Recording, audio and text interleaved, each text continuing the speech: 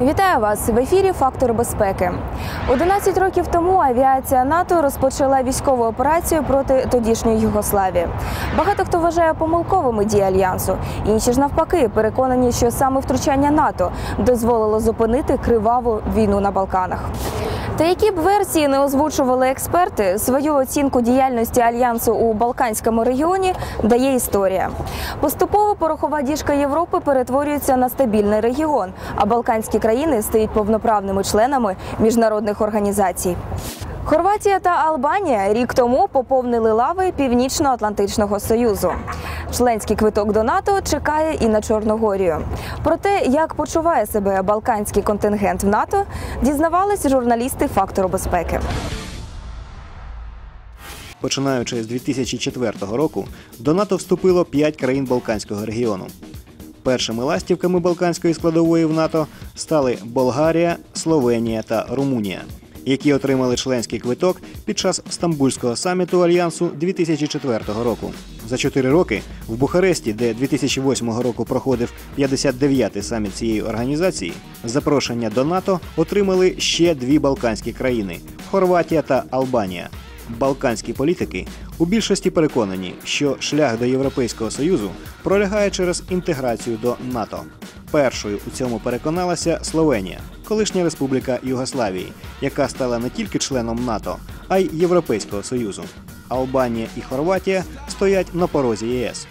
Хорватська влада переконана, що цей іспит країна складе успішно і знають про що говорять. Адже досвід проведення вдалих реформ у цієї гордої балканської країни чималий. У 2007 та 2008 роках дипломатія досягла значних успіхів. Країна була обрана непостійним членом Ради безпеки ООН. Значного прогресу також було досягнуто на переговорах про вступ до Європейського союзу. Однак найбільшим успіхом стало запрошення стати повноправним членом Північно-Атлантичного альянсу. Показовим є те, що на урочистій церемонії були присутні тодішній президент Хорватії Месіч та прем'єр-міністр країни Іво Санадер. Давні політичні опоненти з багатьох питань стали однодумцями щодо вступу Хорватії до НАТО. По-перше, вона повинна була вийти із тяжкого військового протистояння, е, врегулювати відносини із своїми сусідами, колишніми республіками е, Югославії, а крім того, досягнути стандартів НАТО, стандартів е, євроатлантичної спільноти. Тобто це було надзвичайно складне завдання. І треба віддати належне Хорватії, яка зуміла за доволі короткий період часу всі ці завдання успішно подолати. Я думаю, що е, запорукою успіху е, цієї е, невеличкої, але дуже цілеспрямованої країни є консенсус усіх політичних сил щодо стратегічних напрямів розвитку держави. Інтеграцію до євроатлантичної спільноти проголошено стратегічним пріоритетом держави. І навколо цієї ідеї об'єднуються усі: і президент держави, і уряд, і парламент, і опозиція. І хоча чимало хорватів вважали, що остаточне рішення щодо членства країни в НАТО мало прийматися на референдумі, більшість громадян країни підтримали на той час дії керівництва країни. Більше 60% хорватів вважали, що країна повинна стати членом НАТО.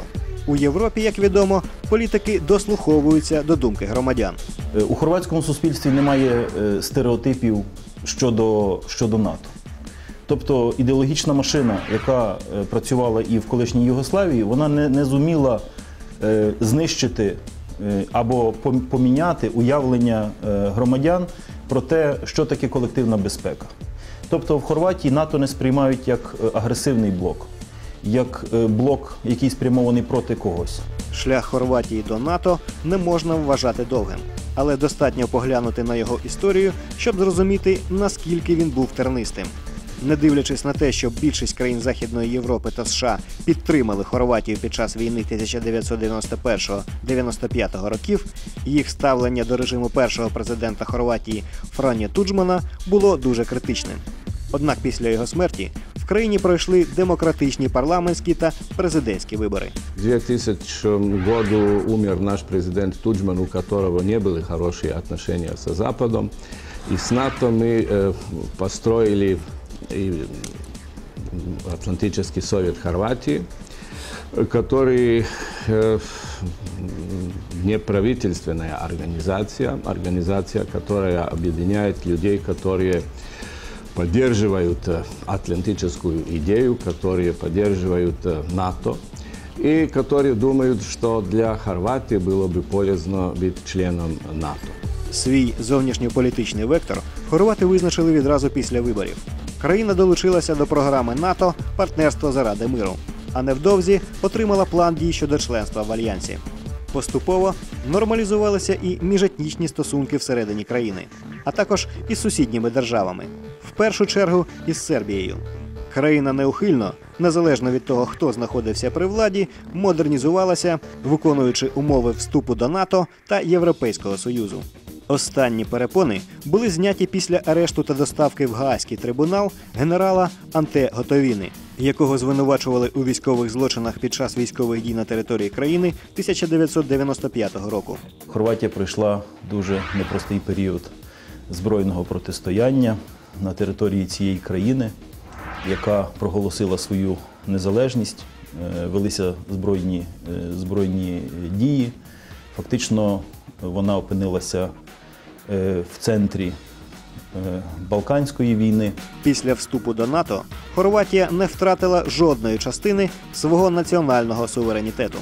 Додаткові гарантії власної безпеки дали можливість збільшити приплив іноземних інвестицій, що необхідні для економічного розвитку та зниження рівня безробіття в країні. Е, Я думаю, що ви у своїх розмовах, е, котрі мали або будете мати в Хорватії, відчуєте великий сильний гонор і патріотизм кожного хорвата. Вони, так як і українці, кожен має свою думку.